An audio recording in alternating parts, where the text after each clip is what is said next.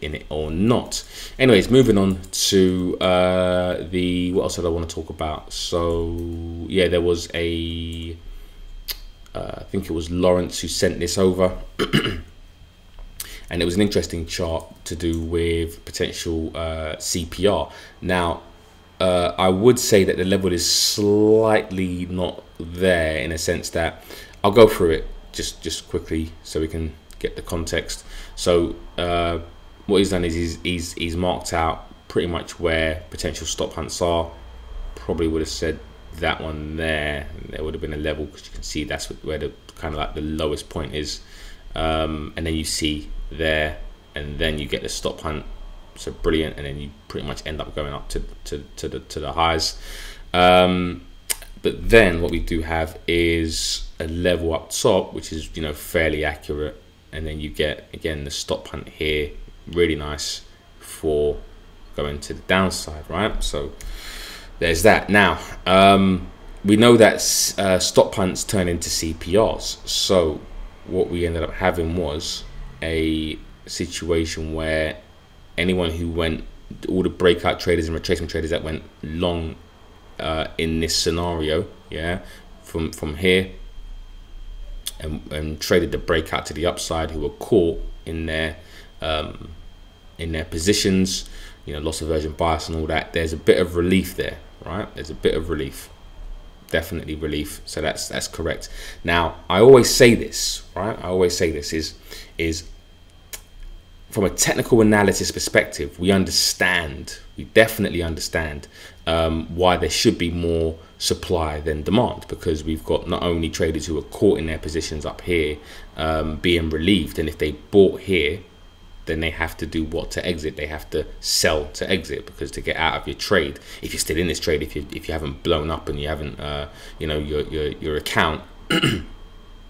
you have to sell to exit. You've also got other traders who are looking at this area from a as a from a level of um, uh, um, getting into new trades. Yeah, so again, Lawrence has correctly identified that this has been a level of resistance, resistance, little fell kind of support, and then you've got traders looking to the left and seeing that as a significant level. So they're going to be getting in what short as well. So new traders. And then you've got ultimately traders who are getting in long in and around these areas here on pullbacks looking to take profit into where problem areas which is going to be in and around here right? So there's going to be a lot of selling or sell orders again from a technical analysis perspective. And this is what we look towards right? But ultimately it's all about what is happening on from a fundamental perspective, and this is the reason why we pick our directions, right? The New Zealand dollar, the RBA are looking to hike rates, yeah. So really and truly, we should never be standing in the way of that um, uh, uh, that fundamental bias because all the banks, right? All the banks are looking to buy, yeah, the New Zealand dollar. There's not a bank that's looking to, you know, sell. Of course, they're going to make they can make money on on you know on, on pullbacks. Of course, that's that's just that's what it is, right? They're making money on, on to the downside. But generally, yeah, if a central bank is hiking rates, that's appreciative for a currency. Now, from from this perspective, um, if you've got more buy orders, right, than sell orders, right, this is what's known as an imbalance, I guess, or more sell orders than supply orders. If you've got way more buy orders than sell orders, then there's no um, technical analysis level that's going to stand in the way of that. Yeah, and that's basically what's happened here. So we've looked at all the market participants and all the known market participants from a technical analysis perspective, and that's what CPR is, right? We're just looking at what typical you know traders do around levels of support and resistance. Yeah, and we've got all this potential selling technically analysis wise, right?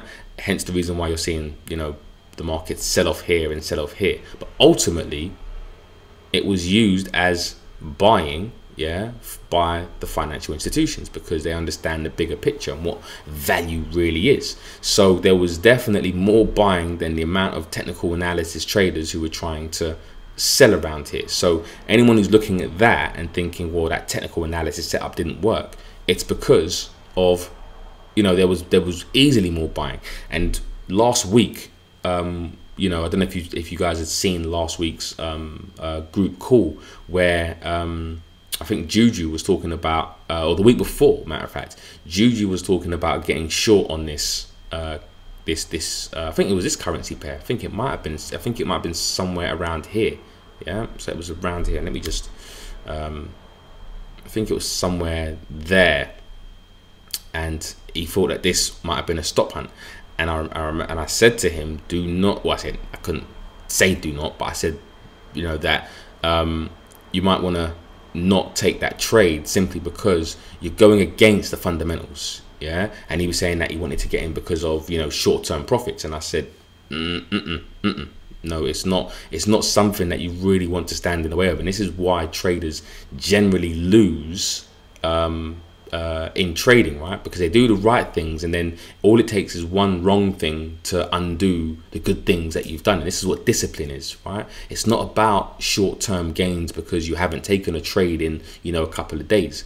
The, the smart money are going long. That's just, you know, fact. There's no debating, right? So even if even if prices you know did do a bit of a stop hunt and came down yeah all that does is that that teaches bad habits because then you're you're gonna it's gonna reinforce that you know what I can take shorts at levels even though I'm ultimately long. And Juju was long by the way as well. He was, long and short at the same time. But he was looking at short-term profits yeah to try and nick a couple of pips or two yeah to the downside yeah before prices ended up you know going to the upside. And that's not I mean, you can think about trading like that, but you know what? There's so many people that do, and they're not successful. Then why would you? Why would we go about doing that, right? It's just having the patience to understand that where the money is flowing into and out of. So the same thing is here, and I'm not saying that Lawrence was going to go short here at all. I'm not saying that. I'm just saying that ultimately, what I'm what I'm trying to get at is this: is um, is I'm trying to make the point that we can see technical setups all day long, all day long, yeah. But this, the fundamentals and risk sentiment, right? Technical analysis. There's no technical analysis setup that's going to stand in the way of risk on, risk off, fundamental analysis. None. It's just that's just the way that you know you have to think about things. So although brilliant setup, I would probably say this is this would have been technically like an A1 setup, and I would if if risk was off, then I would have been probably all over this, right? This would have been a and it would have followed through um, because traders would have been buying more likely to buy the Japanese yen in that in that scenario. But from this scenario, you can't, you, well, you shouldn't really look for any kind of uh, short trades against where you want to trade or where the big money is flowing. And we know where the money is flowing because we do our fundamental analysis. That's just the way it works. But also, as well, um, I just wanted to say this is that the level itself, in fact, the CPR level, is is not there. Yeah, it's actually around here, and so this is where you'd probably want to look for. Let me change the color uh, any kind of buying opportunity is going to be around here because well the first place to look for buying and it's because of the actual level. So let me just clear that right? So we've got a level of support and resistance. Remember it's all about the support and resistance yeah? So any traders who would have got short here yeah in and around this zone here. So traders would have got short here for sure. So i'm not saying that there's not traders caught in this in this area. There's definitely traders caught in this area.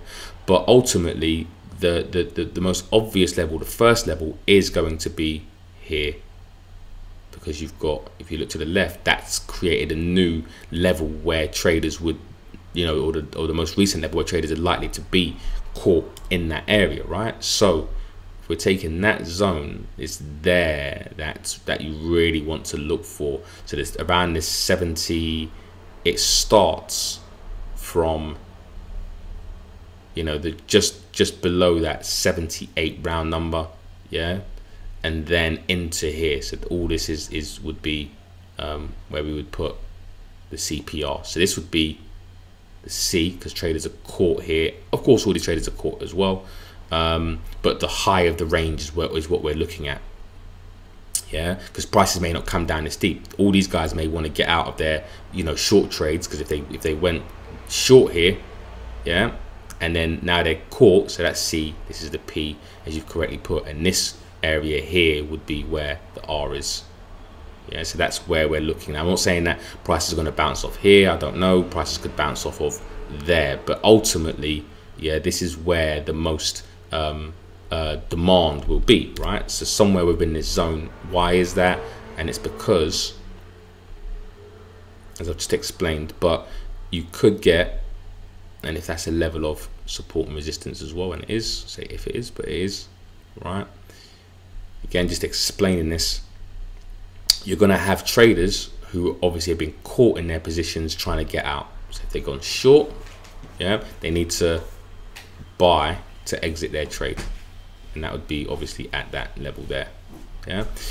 Then you've also got a deeper level, right? That traders will look to potentially get out. Yeah. If prices, if this level gets maybe manipulated and comes down a bit deeper, right? Because new traders are going to be getting in here as well. So all these guys will also have a chance to get out of their trade.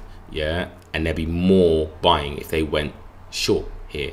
So this whole area of demand, no one can no one can tell you exactly what price is going to you know uh, reverse at.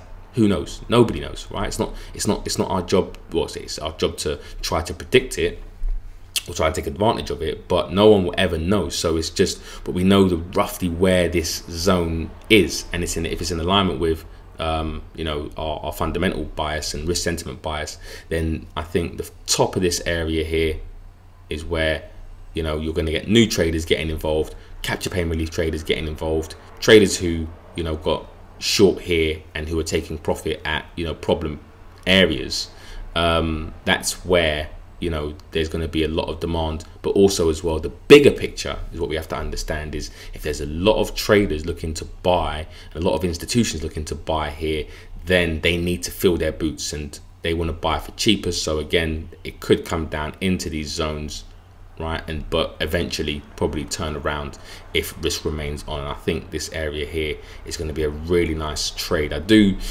i'm cautious of buying at highs right? So i would really want prices to still prove that there is a lot more and then wait for a deeper pullback. That makes more sense. Um, buying at highs i'm not too keen on that. So if, if prices did come back down to this area i would really want more upside potential. Um, so if it did come down into this deeper zone then yeah brilliant. But um, uh, yeah, I'm, um, I'm I'm a bit hesitant to buy at at highs unless the risk reward is really really good. And depends on depending on obviously the time frame but thank you for this and i know i went into a bit bit of depth um, on this but i hope it kind of clears um, you know that level up and where potentially if you're looking to get involved in this trade uh, where the levels you should really be looking at first um, because you might miss the opportunity, right? Prices might come down and then you, you're waiting for this area down here and prices may never get down there. It might just literally turn around somewhere within that zone, right?